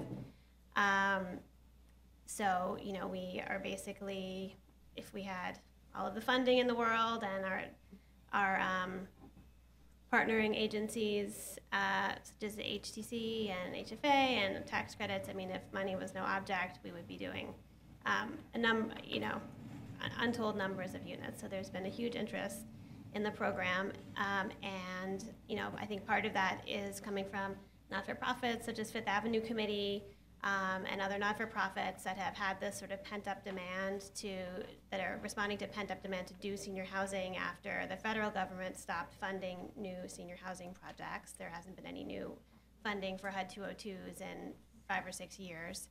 Um, and then there are also for-profit developers who are also interested in the program um, because I think the zoning bonus and the other incentives uh, really make it attractive. So um, we're really excited because, as everyone who has spoken so far has said, there is a huge need for this type of housing. Um, it's great to hear some of the specific numbers about the need in this community. We know citywide, we are, uh, we're hearing that there, the total number of folks on waiting lists for 202s is approximately 200,000 people. So, um, you know, our term sheet limits uh, unit sizes to studios and one bedrooms. Um, this is also what um, the HUD 202 program had limited unit sizes too, but it was good to know that that was a change that happened in the early 80s. I wasn't aware of that. But this enables us to try to develop as many of these units as possible for the folks who are really in need. So, um, you know, while we're sympathetic to um, the needs of larger families with unique circumstances and the folks who need caregivers, um, we also think that it, in the end, it will be a benefit to be able to have a project with, you know, 15 or 16 additional units. Commissioner Cantor. Thank you. Um, Do you have any guidelines for the uh, applicants with respect to uh, signage or to uh, graphics?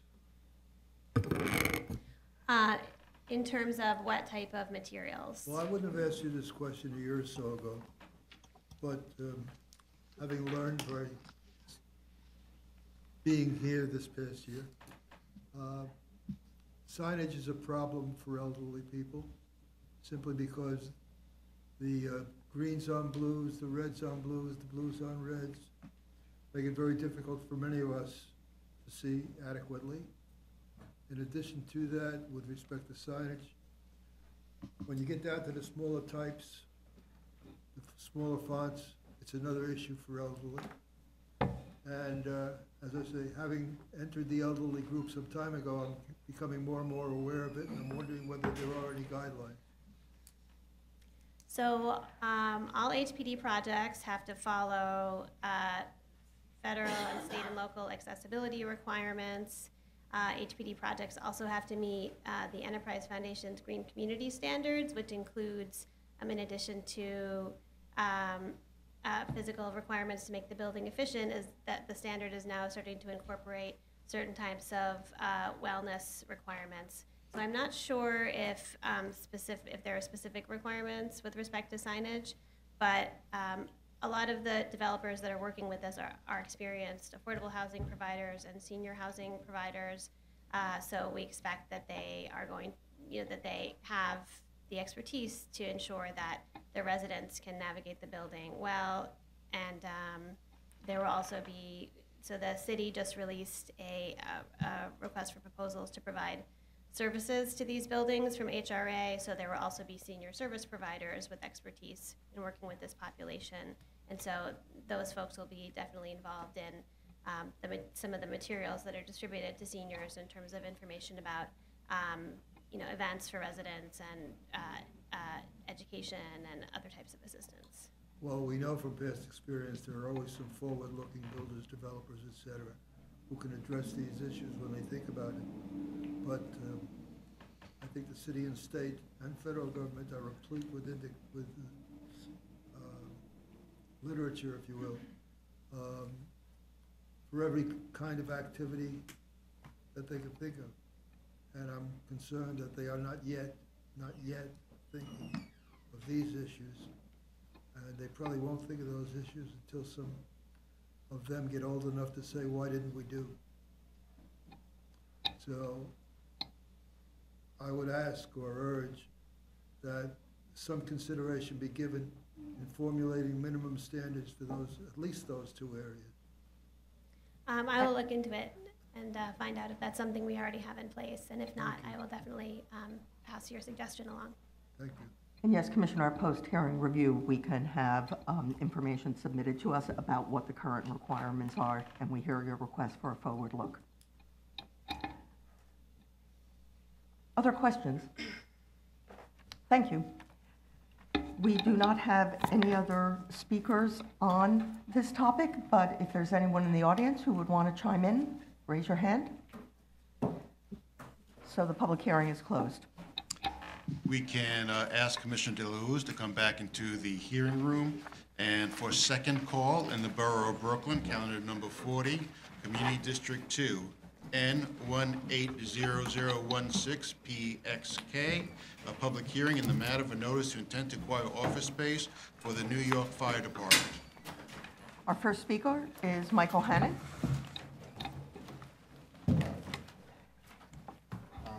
Good morning, Chairperson, uh, Madam Chairperson, and members of the Planning Commission. Um, I do apologize for my delay. In in a case of true irony, the fire alarm went off at headquarters.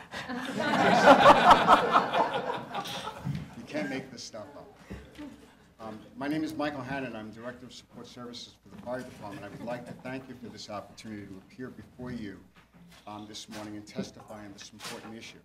As part of the charter mandated 195 application process, the fire department is seeking to secure additional administrative space at One Pierpont Plaza in Brooklyn Heights to rectify overcrowded conditions at our nine Metro Tech headquarters.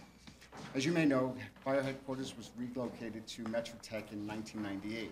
However, over the past 19 years, primarily due to operational changes and additional agency responsibilities, the department has outgrown this space. Specifically, these responsibilities include, but not, are not limited to, an increase in staffing in our Bureau of Fire Prevention, technical ownership of our Bureau's Emergency Medical Services Computer-Aided Dispatch System, and our medical monitoring program for current and retired members who operated at the World Trade Center site. Another important factor in this outgrowth was the post-9/11 expansion to our headquarters-based operations center. This state-of-the-art facility consumed more than 20,000 square feet of space at 9 Metro Tech. It's important to note that this round-the-clock staff center provides the agency with enhanced capabilities of managing emergency responses as well as other catastrophic events. One of the more recent increases to tax our available space within the fire department was the need to increase um, recruitment staff from a court-ordered monitor um, put in place to assist with our diversity efforts. Over the past years, the agency was able to absorb these additional increases by one, reducing individual cubicle sizes, two, conversion of conference rooms to accommodate more cubicles and offices, three, relocation of paper files off-site to uh, convert to office space, and lastly, staggering work schedules to accommodate more in limited space. Unfortunately, we have now reached the point where expansion at our current location is no longer possible. The One Pierpont Plaza site, which is only four blocks from 9 Metrotech, will serve as the new home for our Bureau of Fire Prevention District Offices 1 and 3 and our Bureau of Human Resources.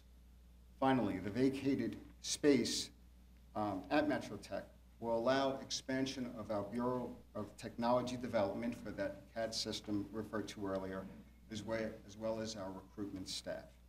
Um, I'm happy uh, and thankful for this opportunity to speak before you, and I'm open to any questions you may have. Commissioner Effron. Thank you. I'm, I'm delighted to know it was only an, an error in the fire uh, alarm and not something more serious. And thank you for coming. Um, and thank you for addressing the specific needs um, of the expansion. As I said at the review session, you might be aware um, there's a limited amount of office space built in downtown Brooklyn, and it was anticipated that that would become our second or third downtown in New York or Central Business District. Um, and this is a fairly large block of office space in a very limited supply. So I just wonder, um, not to deny the absolute need of each of these, and as a citizen, I'm delighted to hear um, just how uh, granular and um, uh, forward-thinking these departments are that you've described. But uh, do do all of them have interaction with the Metrotech, the personnel at Metrotech, or are some of these um, possibly satellite offices in another part of the city? Um, primarily, the, the human resources is um, in constant contact with all different units within the department. Now, they were considered for moving because of the numbers and their ability to move as a whole unit. Mhm. Um, although they do need to stay close to fire headquarters to deal with our budget department and fire operations. So, so yes, the close proximity of Pierpont was important to us. Actually, we didn't identify Pierpont, but the, the fact that we needed it to be close to 9 Metrotech was a, a request on the department's behalf. So just to understand, um, Human Resources is at uh, Metrotech. presently, excuse me, uh, yes, it's presently at 9 Metrotech. Okay. And the monitoring service that you described, which is obviously a very important function, that's a requirement to be near Well- um, Metrotech as well? Yes, because they're in constant communication with the medical staff. So as the monitoring goes on, um, they interact with medical, which is also um, at 9 Metro Tech, to see when patients need to be called in, progress on, on people's health. So yes, there's, there's constant back and forth between the monitoring and medical services, although they're remaining at 9 Metro Tech.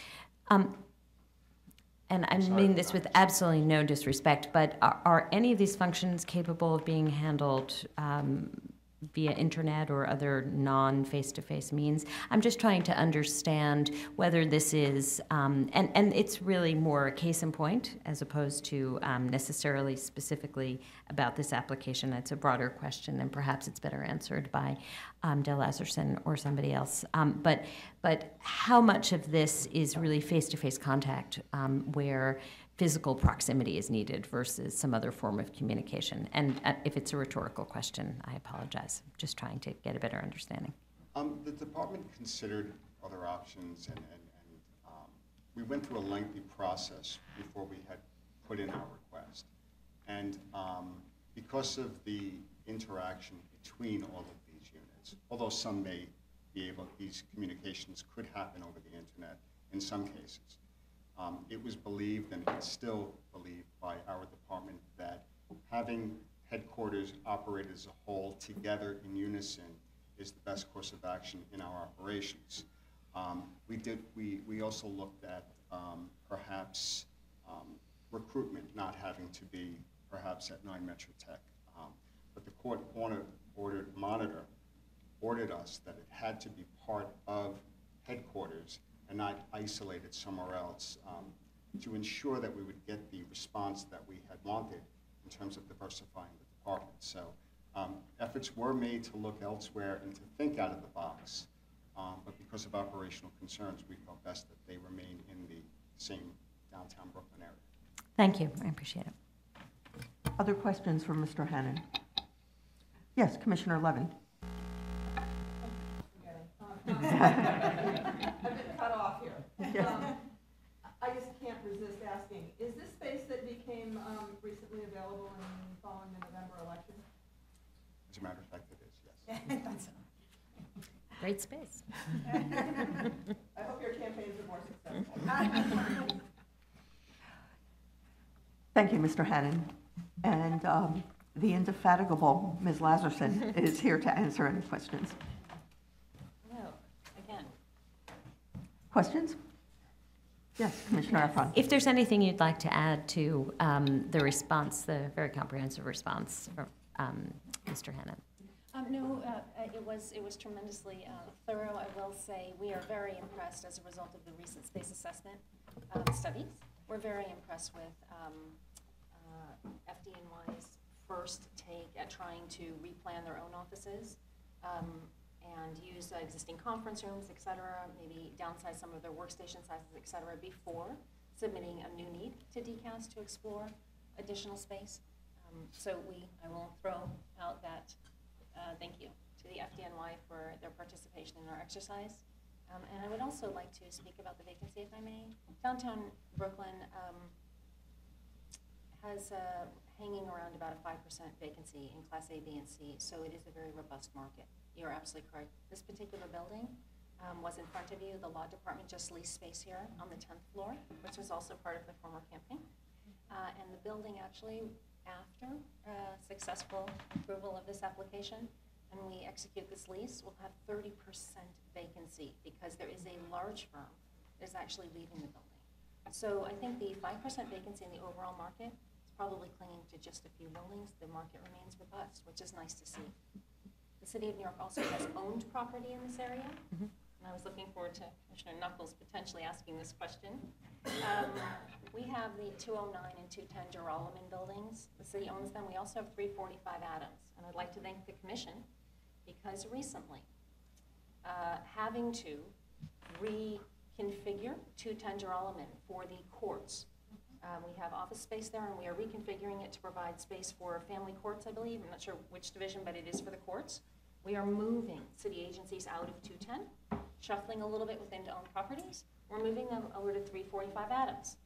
Thank you to the commission, because the Department of Finance is at 345 Adams, and you recently approved their consolidation into 375 Pearl here, making room for that. So we are looking at our owned properties as well. And unfortunately, at this time, uh, those three properties don't provide an opportunity for the expansion here. Other questions? Sounds like part of your job is solving a Rubik's Cube of space. Thank you, Ms. Lazarson. Those are the only speakers who are registered. If there's anyone else who would want to be heard, please let me know. The public hearing is closed. Any other business, Mr. Secretary? Uh, there is not. And we bring it in at noon. Enjoy your afternoon.